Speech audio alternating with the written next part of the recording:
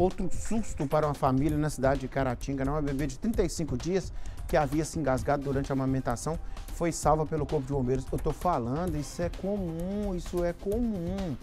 O pai, em estado de choque, chegou com o filho no quartel pedindo ajuda, né? De acordo com os militares, o bebê havia engasgado com leite materno e apresentava é, prostração. Né? Vai, vai sucumbindo, né? Os militares deram início ao procedimento necessário para a liberação das vias aéreas. Após a desobstrução, uma médica do SAMU, Serviço de Atendimento Móvel de Urgência, fez atendimento e posteriormente foi orientado ao responsável encaminhar a criança para um pediatra. Mas foi salvo aí, né? O caso que a Alessandra contou, a bebezinho, o bebezinho tinha 15 dias. Esse outro caso, 40 dias. Vai um alerta aqui. Não sei se é o caso aí, tá? Das duas ocorrências. Mas vai um alerta aí, né?